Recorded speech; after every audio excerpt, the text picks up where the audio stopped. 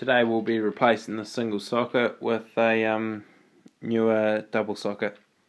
First thing we want to do is kill the power to it.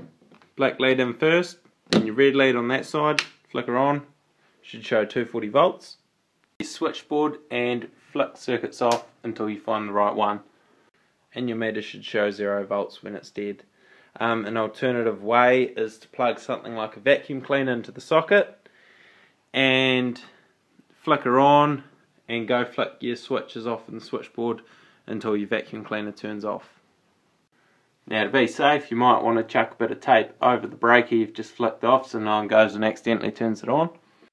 If you're still really unsure, um, flick the main switch off or alternatively call an electrician in to do it for you. Next step, pop the dots out and then unscrew the screws behind. Once you've done that, there'll usually be three different coloured cables behind it. One neutral, one phase and one earth.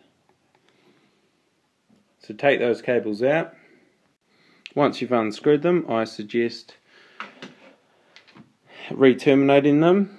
Um, these ones are terminated perfectly. Um, if you're not sure on how to terminate properly, uh, then watch my video on that. Check it out. The next step is to fit the new socket on. The backs of these ones uh, are 600 series by PDL. We've got A, E and N clearly written out. So red goes into A, green goes into E, black goes into N. Once they're in, double check your terminations, give it a pull test where you pull on each cable and make sure your terminals are tight enough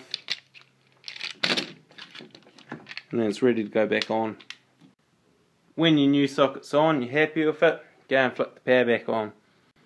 You can double check with your meter if there's power on it